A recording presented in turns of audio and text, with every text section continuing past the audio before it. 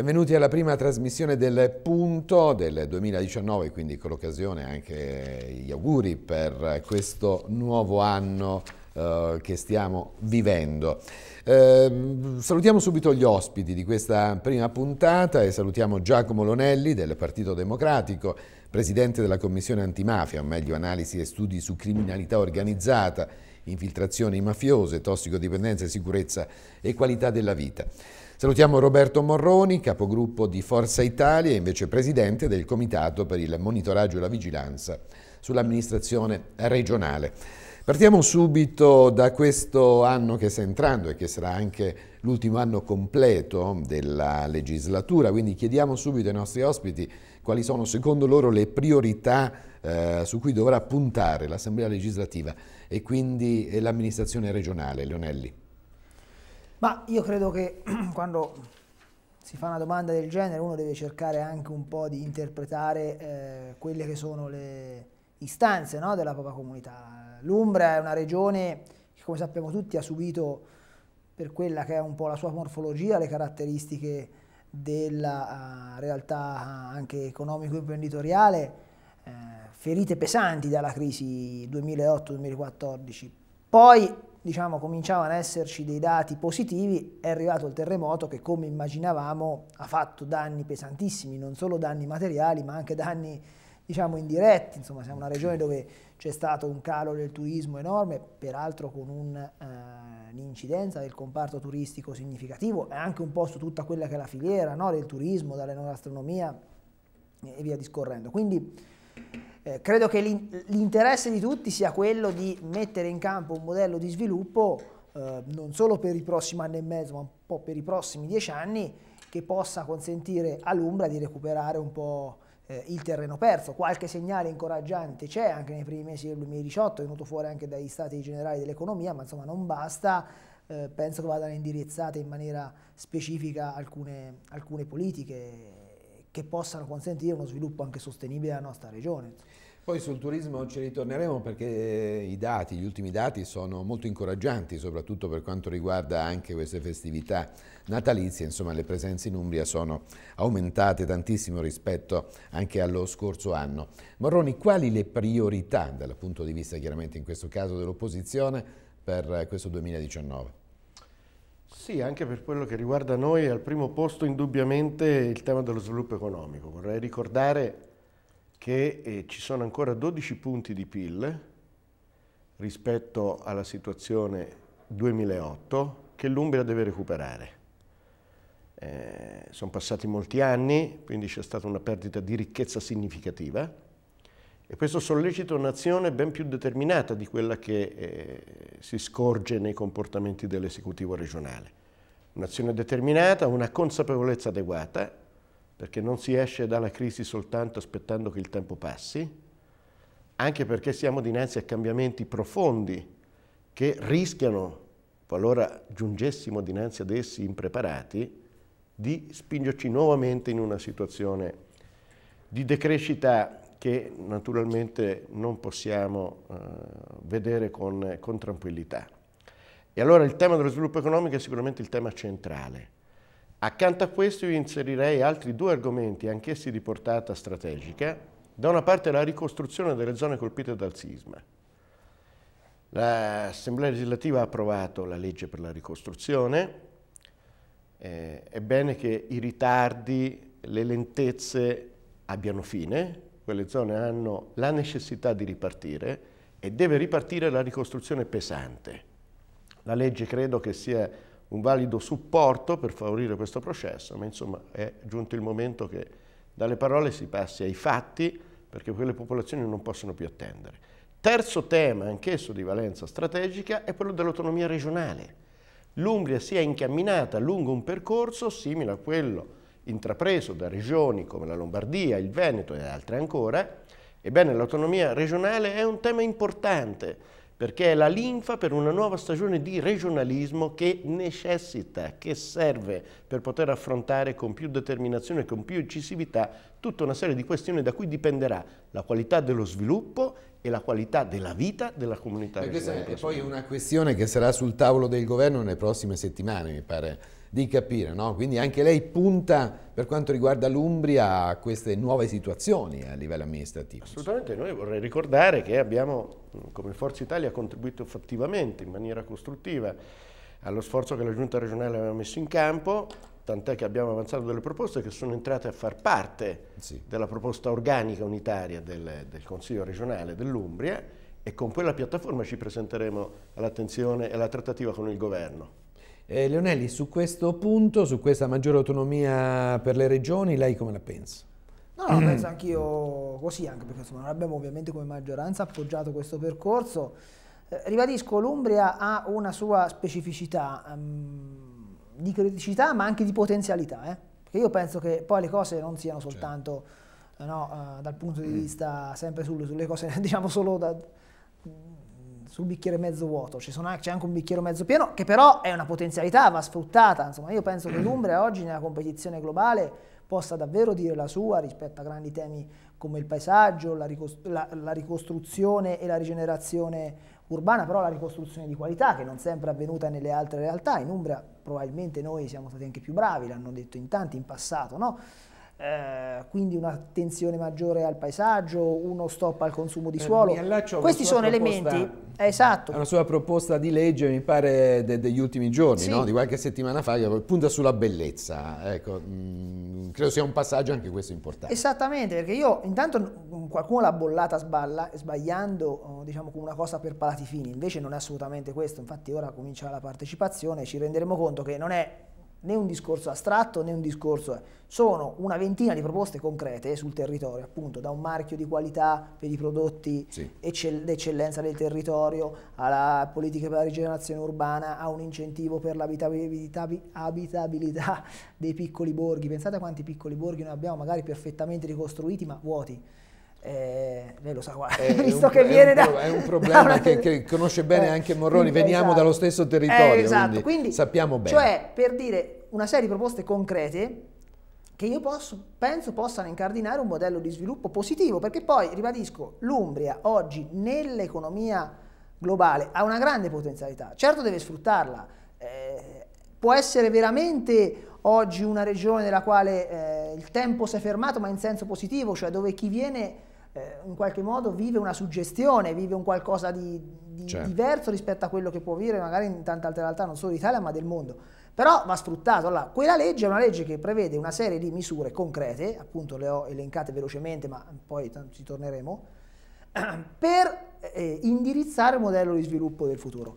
Perché quando si parla di sviluppo, ma aggancio a quello che diceva giustamente Morroni, molte cose le condivido, eh, il problema non è che bisogna approcciare il tema dello sviluppo economico così come un qualcosa per arricchire chi è già più ricco, ma dobbiamo metterci certo. in testa che è l'unica strada per creare lavoro e creare lavoro significa dare una risposta anche a chi eh, sta più indietro, ai cosiddetti ultimi, cioè eh, servono politiche sicuramente no, uh, di welfare e di attenzione a chi è più in difficoltà, però noi, come si dice, si rimette in moto la macchina Benissimo. anche dell'occupazione Moroni, eh, Leonelli ha toccato un, eh, una questione molto importante no? eh, che, che, fa parte di questa sua proposta, di questa sua proposta di legge sulla bellezza dell'Umbria, sui borghi. Proprio sui borghi eh, sottolineava il fatto appunto di, di un territorio come quello che, che, vivo io e che vive anche lei, che è quello della fascia appenninica, insomma, eh, dove la ricostruzione del 97 ha ricostruito molto bene i centri storici delle città,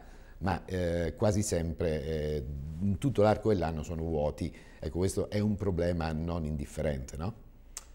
È un problema non indifferente, è una delle grandi questioni che eh, occorre in qualche maniera affrontare. Ora, le risposte naturalmente sono risposte articolate, sono risposte complesse. Quello che mi sentirei di dire a riguardo è, se noi vogliamo che i piccoli centri non subiscano un processo di spopolamento. Certo. E qui ci rilacciamo anche all'ultimo terremoto della Valnerina, no? perché poi i rischi sono quelli. Però le leve che spingono ad abbandonare i piccoli centri, attenzione, laddove magari ci sono stati degli eventi traumatici come il terremoto, eh, sicuramente è un fattore che accelera certi processi. Ma io mi domando, ma il piccolo centro, che quindi dal punto di vista economico del tessuto economico, delle opportunità che può offrire, naturalmente ha un'identità limitata.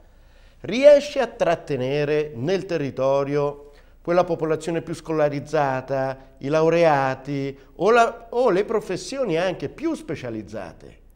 No, non capita questo. Piccolo non è più sinonimo di bello. Vale, questo vale sia per le, il tessuto economico produttivo, e questo aprirebbe una riflessione interessante rispetto anche all'incipit che davo prima, no? attenzione, non commettiamo l'errore di far sì che la crisi passi semplicemente perché passa il tempo e quindi dopo la, dopo la, notte viene il giorno. Questo è un errore madornale perché siamo alla vigilia di trasformazioni profonde del tessuto economico. Penso alla digitalizzazione, penso all'impatto della ricerca dell'innovazione tecnologica. Cioè noi avremo tra 5-10 anni un volto dell'economia mondiale completamente diverso le, da quello che abbiamo oggi. Le infrastrutture immateriali, dice lei, hanno bisogno ma, di una... Ma no, attenzione, non è solo una questione della digitalizzazione. La digitalizzazione si Fa trasferirà parte, certo, nelle imprese, certo, certo. la robotica. Che impatto avrà l'intelligenza artificiale? Cioè noi stiamo parlando di cose che accadranno tra 50 anni, stiamo parlando di cose che si abbatteranno in termini positivi. Questo è l'approccio che io voglio avere, perché mai l'innovazione tecnologica ha portato male. Ok, però certamente se non si cambia, queste cose spazzano via. Allora, se non vogliamo essere spazzati via, dobbiamo adeguarci, dobbiamo avere una grande capacità di capire dove sta andando il mondo e Perfetto. di mettersi in sintonia. I piccoli centri, per chiudere la risposta al suo quesito, naturalmente da questo punto di vista soffrono. Allora, la risposta da dare è quella di innescare dei processi virtuosi e far sì che l'Umbria diventi e cominci a ragionare come un sistema unitario, come una grande città L'Umbria deve essere una grande città e deve mettere in campo strategie tipiche di una grande città. Che dice Leonelli? No, no, io l'ho sempre detto che il limite più grande dell'Umbria è, è il campanilismo. Eh, Questo io sono pienamente d'accordo. È così. Eh, una regione da 900.000 abitanti, ribadisco, ha veramente, con le potenzialità che abbiamo noi, se ragiona in maniera strategica eh, di insieme, che poi è una regione che ha le sue, diciamo, eh, similitudini, pensiamo ai tanti borghi o a tante città d'arte, ma anche delle differenze che poi diventano un elemento no, di, eh, di, arricchimento, perché se pensiamo alle bellezze paesaggistiche e diciamo oh, contestualmente anche a magari le bellezze storiche artistiche, ma non è che ce ne siano tante altre che possano concentrare in una regione così piccola tutto questo insieme alla qualità della vita, ma ha pienamente ragione, io sono anni che lo dico, io mi sono accorto per esempio sulla battaglia del Frecciarossa, cioè lì Mm, siamo partiti con l'idea del Freccia Rossa da Perugia. Perché? Perché ci siamo resi conto che con la partenza alle 5 e un quarto poteva arrivare a, a, a Milano, a Milano alle 8 e mezzo, che è l'orario per cui può essere utile, perché certo. se devo arrivare a Milano alle 11 per fare shopping posso, prendere, posso alzarmi più tardi, ma se devo andare a lavorare probabilmente alle 9 devo essere lì. Quando è stato fatto, altre città hanno cominciato a dire subito, ah no, arretriamolo, non va bene Perugia, partiamo da Foligno, partiamo da Terni. Eh, dopodiché qualcuno gli, avre, gli, avrebbe dovuto spiegare, eh, dico scusate ma per, va per, me va bene, ma se deve partire da Foligno vuol dire che deve partire alle 4 e mezzo. Per essere a Milano alle 8 certo. e mezzo, per, a Terni deve partire alle 4 meno un quarto, lo prende la gente, sveglia alle 3 di notte per essere... Oppure c'è già il collegamento su Roma che comunque no, vai su Roma o Orte che sta a 10 minuti da Terni. Poi questo ragionamento si è sviluppato tanto che freccia, è stato messo freccia bianca a Spoleto, su Orte si sta ragionando no, del collegamento ad alta velocità, ma la prima risposta è stata, visto che c'è Perugia, lo vogliamo anche noi. Poi magari si sono resi conto che, dice, vabbè, ma vorrei, avrebbe voluto dire Quindi che... lei dice, vediamo le priorità e lasciamo i campanilismi e, vediamo... No, no io ho citato questo esempio per sì, dire sì, che l'approccio è quello che se, un, se una città ha un servizio, le altre città intanto lo pretendono, poi magari si domandano se gli serve. Perché probabilmente su Terni invece è molto più utile un collegamento veloce su Orte. Ecco, programmazione o anche da Terni a Roma. Base, capito, ma è inutile che faccio partire il Freccia Rossa che passa da parte da Perugia alle 5 e un quarto alle 4 meno un quarto. Leonelli Morroni ci è entrato in un altro argomento che è quello dei trasporti, diciamo, delle infrastrutture. Non era previsto nelle domande di no, oggi, però chiaramente... Un esempio. No, no, no, è l'esempio, però eh, entriamo in un problema reale dell'Umbria, eh, non è che... Quindi affrontiamo un attimo, poi passo alla prossima domanda, però magari in un minuto se vuole eh, il tema delle infrastrutture è un tema centrale nel momento nel quale ci si pone nell'ottica di quelle che possono essere le prospettive di sviluppo di un territorio. Non si può pensare e parlare di sviluppo certo, se non certo, si parla sono- di infrastrutture, ecco. sia quelle materiali, quindi viarie, ferroviarie, aeroportuali, sia quelle sempre più importanti immateriali, dove insomma abbiamo del terreno da recuperare anche su quel fronte. E sul primo ci portiamo dietro dei problemi storici. Ecco, lei prima citava, eh, io vengo da una zona che è quella dell'Egumino Valdese, io sono di Gualdo Tadino, e, insomma la Perugia Ancona, molto più della, della Flaminia, è un'arteria che può far uscire quel territorio da un isolamento Certo. ultra cinquantennale, eh? diciamo da sempre, siamo stati isolati, ultrasecolari. Eh, anche lì le cose si realizzano con eccessiva lentezza, perché adesso per venire da Gualdo a Perugia in mezz'ora ci si arriva, quindi si sono quasi dimezzati i tempi. Con il completamento della Perugia-Ancona, anche Ancona grosso modo sarà raggiungibile con questi tempi. Quindi voglio dire, quelle opere vanno portate avanti Eh, con c'è, c'è già la determinazione. Fogna Civitanova, se c'è anche l'altra, l'Umbria Insomma, diciamo l'Umbria perde- comincia un Eh, po' certo, a, a certo. rialzarsi. C'è un tema dove abbiamo, secondo me, un ritardo importantissimo, che è quello dell'aeroporto. Cioè, la mobilità, Arriviamo a Lonelli perché... ma la, mo- la mobilità nei prossimi anni sarà sempre più una mobilità veloce. Veloce, perché i tempi- il tempo è sempre più prezioso, l'abbiamo visto con l'alta velocità. ok? Quindi l'aeroporto è una risorsa strategica per una Certo, regione certo, che certo. voglia appunto mantenersi al passo con eh, i contesti che guardano ad uno sviluppo fecondo. Anche sull'aeroporto c'è un ritardo però, c'è un ritardo delle istituzioni, c'è un ritardo secondo me della regione, ma non solo della regione, anche di molti comuni che non intuiscono forse la valenza. Ecco perché di nuovo si ragiona per campanili. Noi non possiamo permetterci di ragionare per Quindi campanili. Umbria come grande città. Beh, L'Umbria bello- è un grande bello città. slogan, no, questo? L'Umbria deve essere una Ah. grande città, perché se andiamo a fare l'analisi 92 comuni, va bene, noi ne abbiamo tantissimi sotto i mille abitanti.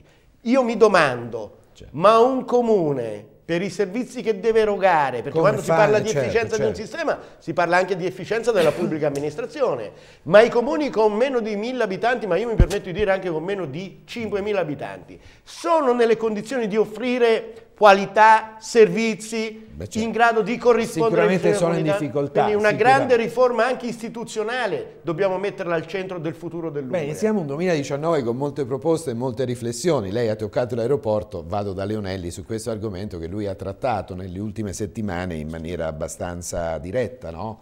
Ehm, criticando anche un po' la gestione, possiamo dire, della- dell'infrastruttura e dello scalo. Allora, Ma qui c'è poco da dire. Noi abbiamo approvato una mozione in Consiglio regionale che dice alcune cose. Dice passo indietro dei vertici. Perché? Perché comunque quando i risultati non sono positivi, bisogna prenderne bisogna, da- dalla squadra di calcio che magari manda via l'allenatore, lei che è un esperto lo sa, eh, cioè non è che si può fare finta di niente. Qui noi abbiamo avuto quattro situazioni negli ultimi Ok. due anni per le quali sono state propagandate, nuove rotte, hanno fatto le conferenze stampa, poi si è dovuto fare macchina indietro, in alcuni casi abbiamo perso anche i soldi. Eh, Allora, voglio dire, è possibile che nessuno faccia un passo indietro? No. Noi abbiamo, chiesto, abbiamo ho proposto una mozione, è stata votata dal Consiglio, ora è stata votata ai primi di dicembre, posso dare, diciamo, no, ovviamente vacanze. il beneficio delle Però ci vacanze. tornerà sopra presto, Eh, ho capito, ma non è che si può pensare che nulla è successo. Poi deve- cioè, deve controllarla cioè, Morroni al suo comitato, eh, adesso ci arriviamo, ora- eh, perché le vostre competenze- Diventa compito anche di Morroni. Ma poi, al di là di questo, appunto ha ragione anche qui il consigliere Morroni, sono d'accordo, sulla mo- mozione c'è un impegno anche di un nuovo rapporto con i comuni, tradotto. Questa benedetta tassa di soggiorno, Mm. è possibile che i comuni la incamerino per intero e magari ci facciano diciamo, le loro oh, giuste e legittime eh, opere, ma una parte non può andare all'aeroporto, perché lì se noi mettiamo in campo... Potrebbe essere un- moltiplicatore, dice lei, Diventa un moltiplicatore, no? Ma se questo aeroporto riesce ad avere magari 3-4 milioni in più all'anno, Cioè, proveniente dalla tassa di soggiorno, diventa anche molto più allettante per le compagnie aeree venirci, perché adesso lo sappiamo come, come- come funziona, no? Chiaramente vanno un po', non dico dove, dove si paga di più, ma dove ti trattano meglio. E quindi c'è anche lì una concorrenza con gli altri aeroporti, no? magari del centro Italia o anche di altre realtà europee.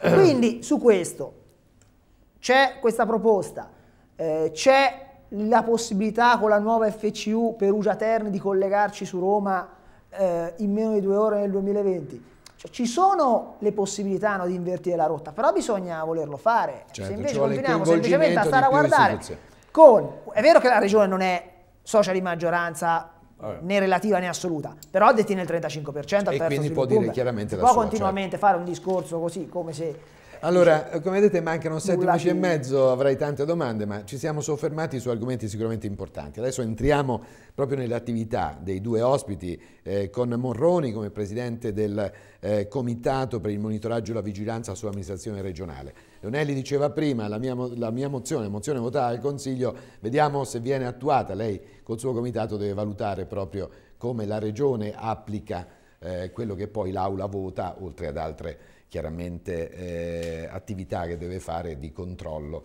sull'amministrazione regionale. Come va la situazione rispetto a quello che fa l'Aula? Eh, quali sono poi gli sviluppi, ecco, in breve? Ecco. Sì, il quadro non è eh, estremamente confortevole, nel senso che confortevole e confortante rispetto a quelli che sono eh, gli adempimenti che ci si attenderebbe, nel senso che eh, si riscontrano molti ritardi, cioè molte cose sono stabilite dall'Aula, parlo sia a livello di provvedimenti legislativi, sia atti Di di, valenza politica, di indirizzo, come possono essere mozioni e ordini del giorno, poi spesso e volentieri queste cose rimangono sulla carta.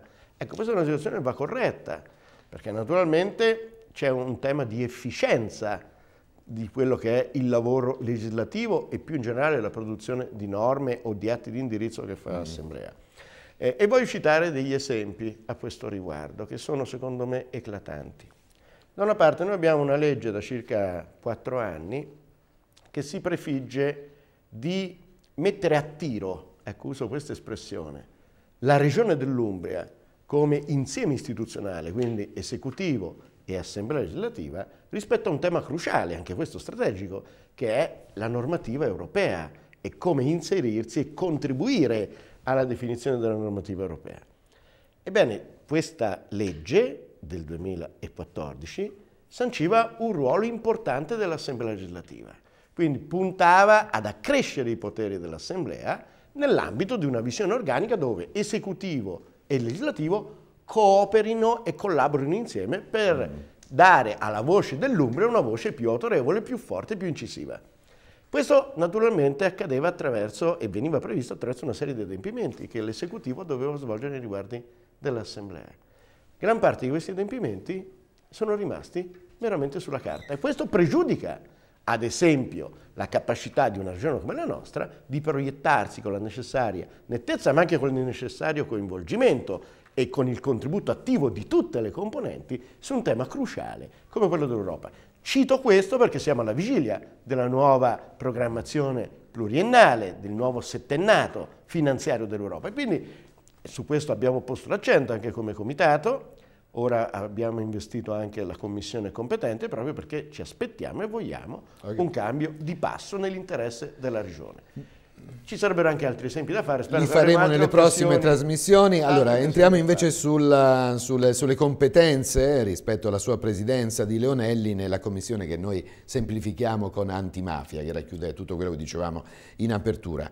Di sicurezza, insomma, la sicurezza è sempre all'ordine del giorno, no? si parla sempre di più, ultimamente anche con eh, questa iniziativa di alcuni sindaci rispetto alla legge sulla sicurezza del governo che, che guarda in particolar modo la questione immigrazione eccetera. Com'è l'Umbria comunque? Come va Leonelli al di là di questa azione politica sulla quale magari 30 secondi ci Ma soffermiamo? beh, sull'azione politica io dico solo che il governo, se la smettesse di ragionare per spot, per slogan, pensando soltanto ai sondaggi, farebbe soltanto una Lei cosa sana. dalla parte di... Ma dei- non è che sono dalla parte, però tu non è che puoi pensare di mh, mettere in campo una proposta del genere senza confrontarti con l'associazione dei comuni, che non sono dei comunisti. Cioè, o- beh, l'ANCI racchiude tutti, certo, Eh, cioè, certo. cioè, racchiude tutti. È evidente che se questi sindaci ti pongono un problema rispetto, guarda che noi, noi numeri mi pare che abbiamo mh, il rapporto fu uno mi pare su 400, circa 2000, mi pare 2000, non ti ricordi?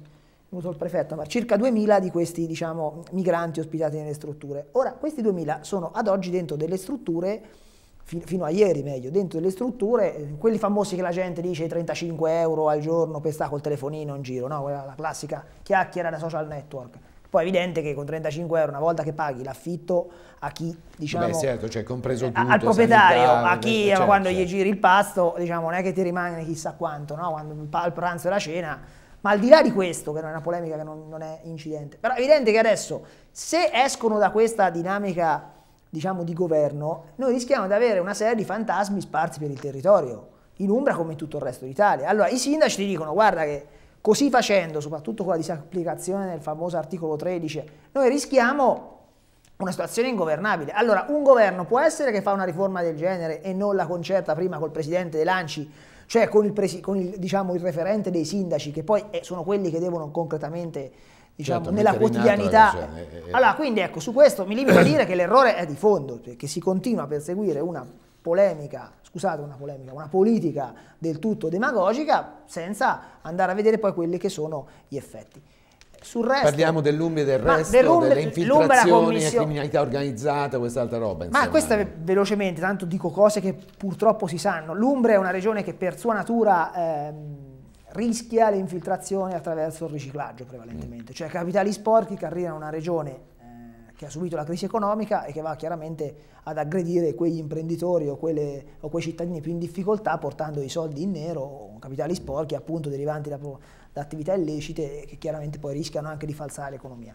Noi eh, abbiamo messo in campo una proposta come commissione, io sono il primo firmatario, ma l'hanno firmata tutti i colleghi della commissione perché è stato un lavoro molto partecipato, l'ha firmata adesso anche il consigliere Morroni extra commissione, come il gruppo di Forza Italia, e quindi una proposta che io spero possa passare all'unanimità, che mette in campo anche qui una serie di proposte concrete sugli appalti, sulle forniture, sull'agricoltura, sulla banca dati del commercio, il turismo, ehm, gestione dei beni confiscati.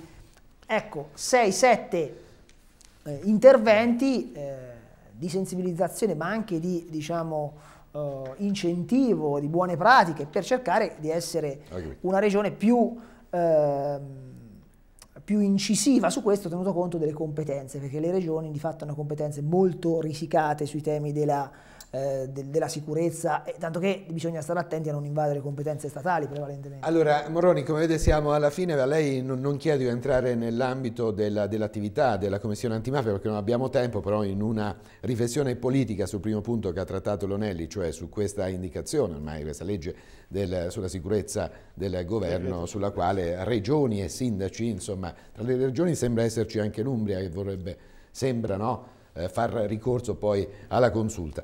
Eh, lei come la pensa?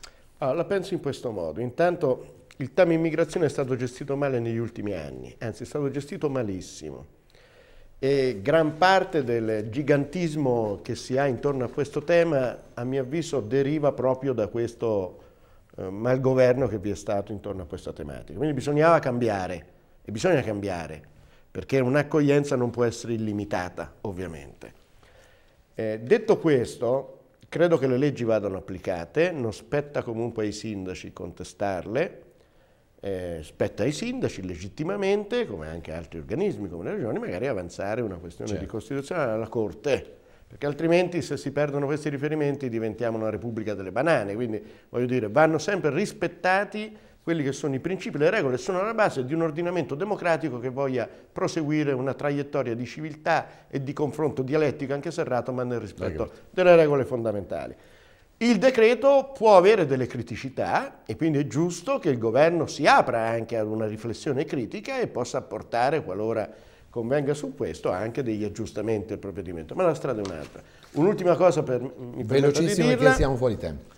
Sul tema dell'immigrazione occorre fermezza e occorre rigore, ma uno Stato forte e soprattutto una democrazia forte non deve mai perdere di vista quello che è il confine molto netto tra rigore, fermezza e lo scadimento su un piano di inciviltà e di disumanità. Ecco, quello è un confine che non va mai superato.